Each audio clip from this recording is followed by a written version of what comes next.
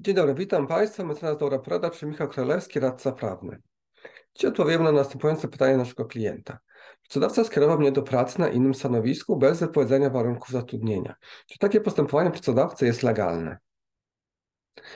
Okazuje się, że kodeks pracy e, dopuszcza e, czasowe powierzenie pracownikowi innej pracy, niemniej nie jest to jakby pełna dowolność e, pracodawcy, musi on spełnić kilka dodatkowych przesłanek oraz wykazać mm, istnienie spe specyficznych okoliczności uprawniających właśnie do takiej czasowej delegacji.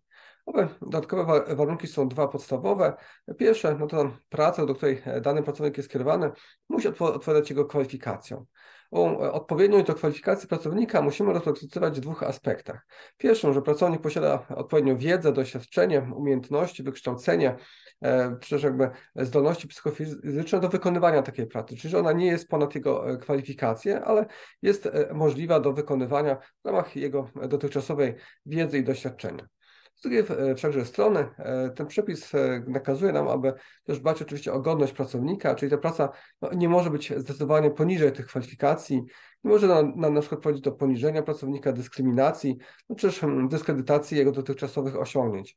Takim przykładem, który pojawia się nie tylko hmm, w życiu, ale także i w wyrokach sądowych jest kwestia powierzenia byłemu prezesowi czy też dyrektorowi pracy fizycznej na jednym z najniższych stanowisk w firmie. No tego typu przypadkach uznaje się, że dochodzi do e, dyskryminacji tego pracownika, do dyskredytowania go, też do poniżenia e, w oczach innych e, współpracowników. Oczywiście nie chodzi tutaj o to, że ów przepis, ów zakaz możemy stosować tylko do prezesów czy też do dyrektorów. Każdy pracownik posiadający określone kwalifikacje, jeżeli skierowany do pracy zdecydowanie e, gorszej e, co do e, wymogów, odbiorów wśród pracowników, no może spotkać się właśnie z takim poczuciem krzywdy, wręcz poniżenia. Tego typu przypadkach oczywiście pracownikowi przysługują pewne środki, o których powiem na końcu dzisiejszego filmu. I pamiętajmy, że owo odpowiedniość kwalifikacją ma dwa aspekty. Po pierwsze, pracownik musi być w stanie tę pracę wykonywać, po drugie, ona no, nie może być jakby godząca w jego dobre imię, jego godność pracowniczą, jego pozycję dotychczasową w firmie, oczywiście w kontekście nie stanowiskowym, ale wśród zna znajomych, współpracowników, jego poważanie, jego dobre imię to też musi tutaj e, pracodawca mieć się na względzie, kierując go do innej e, pracy, aby ta praca zbyt mocno e, nie naruszała owej godności pracowniczej. To jest pierwszy warunek. Drugi warunek jest kwestia uzasadnionych potrzeb pracodawcy. Tutaj oczywiście to na pracodawcy ciąży obowiązek wykazania, że takie potrzeby istnieją.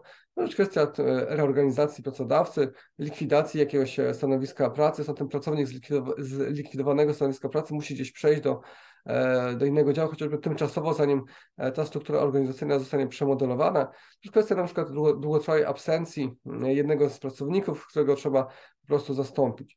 Jeżeli na przykład mamy sytuację, że pracodawca jest spółką, w której są powołane organy, na przykład członkowie zarządu, jeżeli zgromadzenie wspólników odwoła takiego członka, członka zarządu, który jest zatrudniony na mocy umowy o pracę, no, na ten czas wypowiedzenia pracodawca też najczęściej powierza mu inną e, pracę do wykonywania, bo już jakby no, nie może pełnić też funkcji członka zarządu, bo z tej funkcji został odwołany.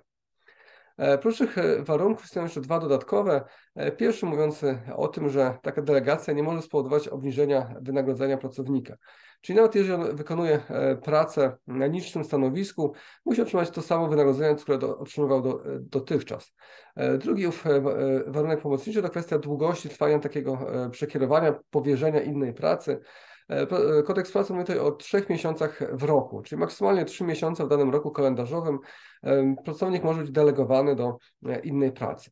I trzy miesiące w jednym roku kalendarzowym mogą się złożyć z trzema miesiącami w kolejnym roku kalendarzowym, więc jeżeli na przykład będzie to okres od października do grudnia jednego roku kalendarzowego i od stycznia do marca drugiego roku kalendarzowego, no to łącznie w okres powierzenia wyniesie nam e, innej pracy, wyniesie nam aż 6 miesięcy.